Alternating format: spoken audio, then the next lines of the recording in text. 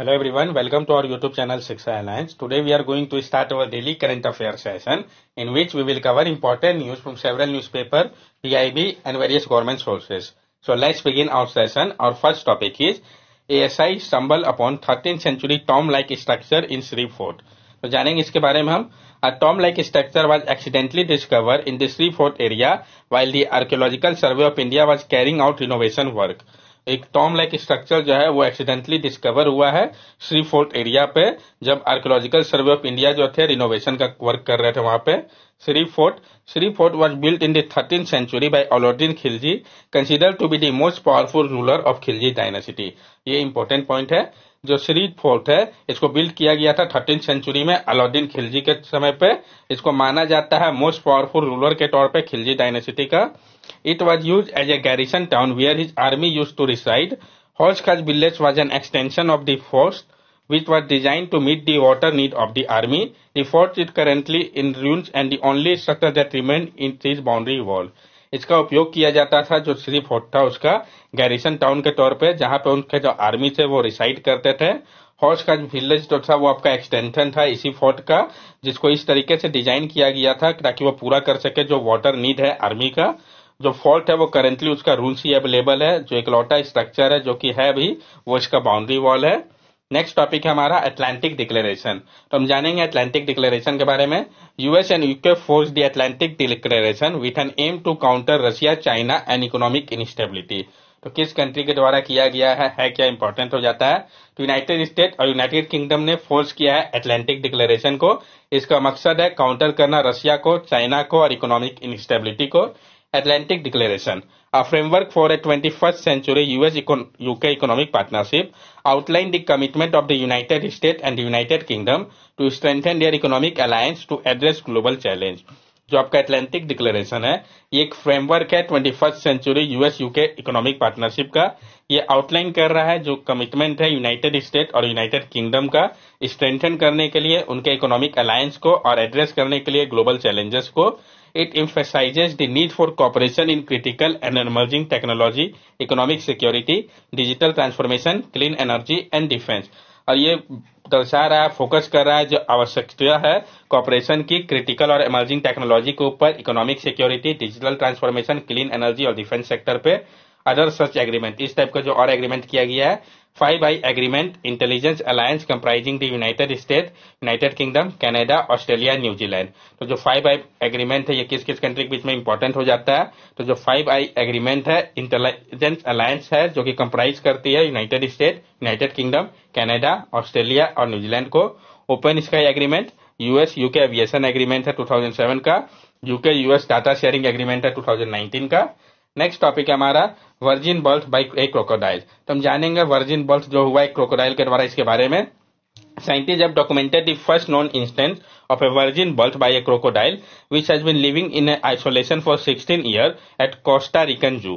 Scientist ने document किया है पहला इस टाइप के इंस्टेंस को वर्जिन बर्थ का क्रोकोडाइल के द्वारा जो कि आइसोलेशन में था 16 ईयर से कोस्टा रिकन जू पे।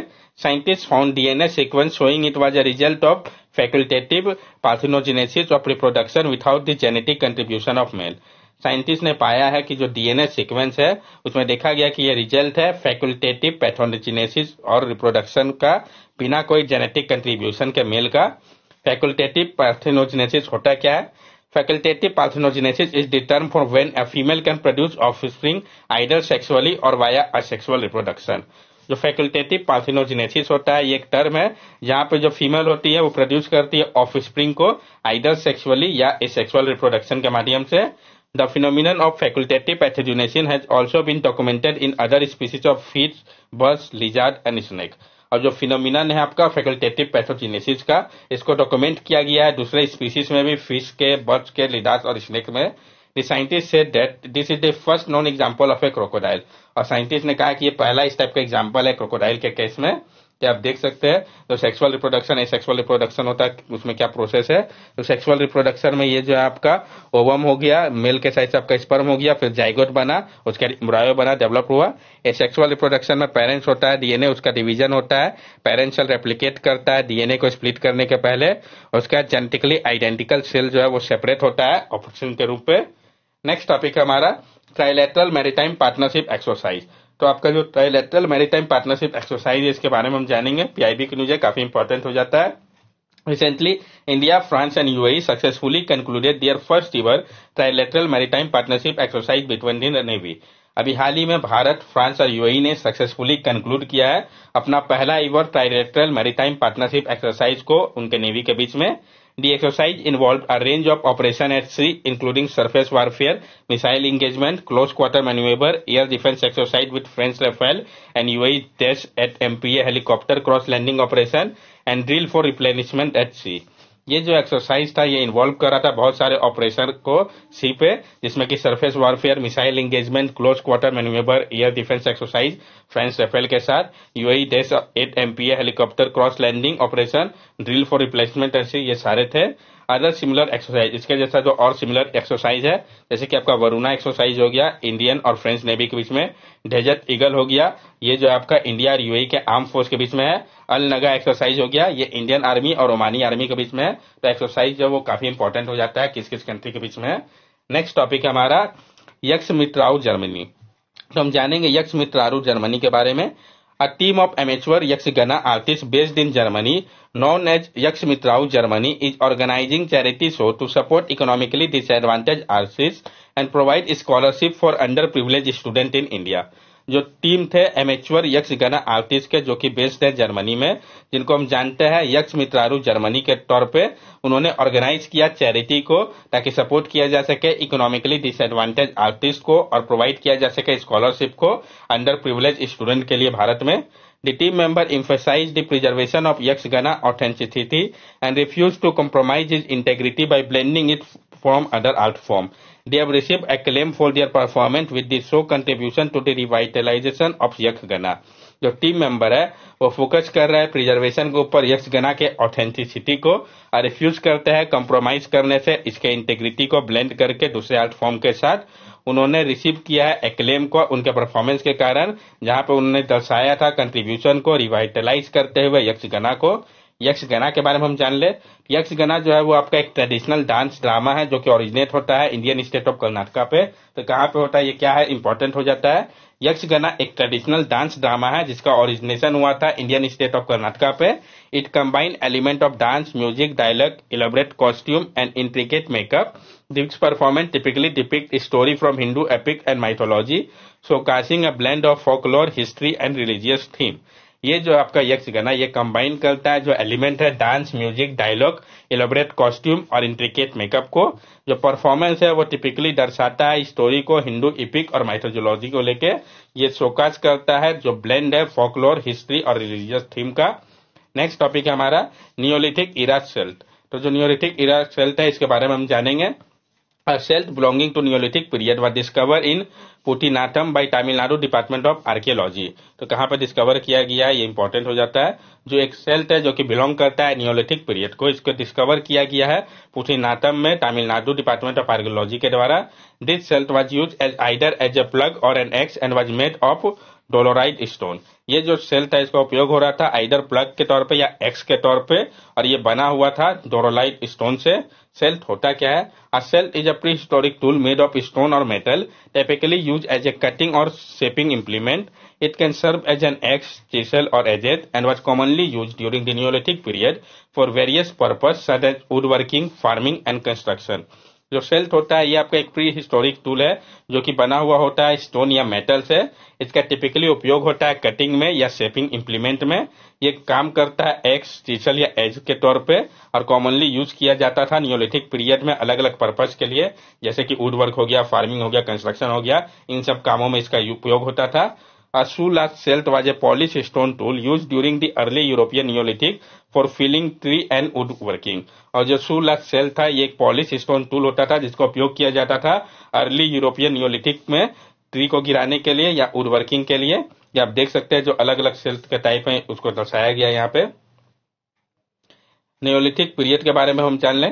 Neolithic period also known as new stone age 10,000 BC to 2200 BC जो न्यूलिटिक पीरियड है जिसको कि हम न्यू स्टोन एज के नाम से भी जानते हैं। 10,000 बीसी से 2200 बीसी का जो समय है ये एक प्री हिस्टोरिक ईरा है जिसको कैरेक्टराइज किया गया है डेवलपमेंट ऑफ़ एग्रीकल्चर के कारण। जो डोमेस्टिकेशन था एनिमल इसके कारण ये जाना जा रहा था। और क्रिएशन ऑफ़ सेटल कम्युनिटी के लिए। तो ये इंपॉर्टेंट पॉइंट है। It mark a significant shift in human society from nomadic hunter gather lifestyle to one based on farming and permanent settlement और इसने एक सिग्निफिकेंट शिफ्ट किया था ह्यूमन सोसाइटी पे। जो nomadic hunter gather life style था, उससे फ़ार्मिंग और परमानेंट सेटलमेंट को और पीपल जो थे वो मूव किए थे। नेक्स्ट टॉपिक हमारा menhir and megalithic burial site तो हम जानेंगे menhir and megalithic burial site के बारे में। तमिलनाडु डिपार्टमेंट ऑफ़ आर्कियोलॉजी है declare five menhir single stone and megalithic burial site at Kodumanal in Erode district as protected monument जो तमिलनाडु डिपार्टमेंट ऑफ़ आर्कियोलॉजी है, उन्होंने डिक्लेयर किया है कि जो पाँच मेहनीर सिंगल स्टोन और मेगालिथिक ब्यूरियल साइट है कोडू मनाल में इरोड डिस्ट्रिक्ट के वो प्रोटेक्टेड मॉन्यूमेंट है। इसके बैकग्राउंड को हम समझते हैं। Kodumanal located on the northern bank of the Noyyal made it to the archaeology map in 1961 when the Archaeological Survey of India started the first dig जो आपका कोडू मनाल है, जो कि लोकेटेड है नॉर्दर्न बैंक में नोयाल के, जहाँ पे आर्कियोलॉजी की मैप जो है 1961 का आर्कियोलॉजिकल सर्वे ऑफ़ इंडिया ने स्टार्ट किया था पहले डिगिंग को। 2021 के बजट में स्टेट गवर्नमेंट ने अनाउंस किया था कि जो कोडू मनाल है, उसको डिक्लेयर किया जाएगा प्रोटेक्टेड आर्कियोलॉजिकल साइट के तौर पे। ये मेगालिथ होता क्या है? तो मेगालिथ जो है, ये आपका लार्ज स्टोन होता है, जिसका उपयोग किया जाता है कंस्ट्रक्ट करने के लिए। ब्यूरियल साइट हो गया कॉमरेटिव मेमोरियल हो गया। एक प्री हिस्टोरिक स्ट्रक्चर या मोन्यूमेंट को, चाहे वो एलोन हो व एक साथ हो अदर स्टोन के, जो ज़्यादातर मेगालिथिक है भारत में, वो आपके आयरन एज के समय का है 1500 बीसी से 500 बीसी का लेकिन कुछ साइट ऐसे भी है जो कि आपका 2000 बीसी से पुराने हैं megalith are spread across Indian subcontinent. However, the majority of megalithic sites are found in peninsular India. जो मेगालिथ है वो स्प्रेड करते हैं अक्रॉस इंडियन सब कॉन्टिनेंट में लेकिन मेजोरिटी जो है ये पाए जाते हैं पेनिनसुलर इंडिया पे जो टाइप है मेगालिथिक स्ट्रक्चर का जैसे कि स्टोन सर्कल हो गया डोलमेन हो गया जो कि प्लेस करता है लार्ज केप स्टोन को टू या दो से अधिक सपोर्ट स्टोन के ऊपर सिस्ट हो गया, जैसे कि कॉफिन लाइक बॉक्स मोनोलिथ हो गया, जिसको कि हम मेनिर कहते हैं। ये आप देख सकते हैं, ये प्री और मेंस पॉइंट ऑफ़ व्यू से दोनों ही से इंपॉर्टेंट हो जाता है। मैप बेस्ड क्वेश्चन तो पहले लिथिक साइट कौन कौन सा था नियोलिथिक कौन सा था मेगालिथिक साइट मॉडर्न सिटी कौन कौन सा थे तो ये आपको मेमोराइज होना चाहिए ये मैप नेक्स्ट टॉपिक है हमारा जतन। तो हम जानेंगे जतन के बारे में। A has been sign between डिमिटी and union culture ministry to complete three D digitization of all museum under central control by the year end for better conservation of artefact एक मऊ जो है उसको साइन किया गया है मीटी और union culture ministry के द्वारा ताकि कंप्लीट किया जा सके थ्री डिजिटाइजेशन को सारा म्यूज़ियम का सेंट्रल कंट्रोल के अंतर्गत इस साल के एंड तक ताकि बेजर कंजर्वेशन किया जा सके आर्टिफैक्ट का। क्यों? तो जो आपका थ्री डी डिजिटाइजेशन है, इसको किया जाएगा उपयोग करके Jatan virtual museum builder software का थ्री स्कैनिंग के माध्यम से। थ्री स्कैनिंग को हम समझते हैं। It means analysis a real world object और environment to collect three dimensional data on is shape and possibly it appearance जो थ्री स्कैनिंग होता है। इसका मतलब होता है एनालाइज करना रियल वर्ल्ड ऑब्जेक्ट को इन्वायरमेंट को कलेक्ट करना, उसका थ्री डायमेंशनल डाटा को, इसके शेप को लेके और पॉसिबली उसके अपियरेंस को लेके। ये जो कलेक्टेड डाटा होता है, उसका फिर उपयोग होता है कंस्ट्रक्ट करने में डिजिटल थ्री मॉडल को। जतन के बारे में हम जान ले। Jatan is a digital collection management system for Indian Museum designed and developed by Human Center Design and Computing Group, Center for Development of Smart Computing Pune. जो जतन है ये आपका डिजिटल कलेक्शन मैनेजमेंट सिस्टम है Indian museum के लिए जिसको design और डेवलप किया गया है human centre design and computing group centre for development of smart computing Pune के द्वारा It can create 3D virtual gallery and provide public access through web, mobile और टच स्क्रीन कियोस्क और ये create करेगा 3D virtual gallery को और provide करेगा public को एक्सेस वेब मोबाइल या टच स्क्रीन कियोस्क के माध्यम से म्यूज़ियम इंक्लूडेड जिस म्यूज़ियम को इंक्लूड किया जाएगा इसके अंतर्गत तो सलारजंग म्यूज़ियम हो गया हैदराबाद का अलाहाबाद म्यूज़ियम हो गया प्रयागराज का इंडियन म्यूज़ियम और विक्टोरिया मेमोरियल हॉल हो गया कलकत्ता का और नेशनल म्यूज़ियम और national gallery of modern art हो गया न्यू दिल्ली का. ये म्यूज़ियम का नाम आपको मेमोराइज होना चाहिए. That's all for daily current affair session अगर आपको हमारी वीडियो अच्छी लगी हो तो हमारे चैनल सब्सक्राइब करें, हमारे वीडियो को लाइक करें और ज़्यादा से ज़्यादा शेयर करें। This are our social media link from here also you can stay connected with us and give us your valuable feedback thank you and have a nice day